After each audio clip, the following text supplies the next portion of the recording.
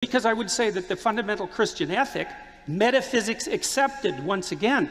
is to act in love, which is to assume that being is acceptable and can be perfected, and to pursue that with truth, and that you should embody that.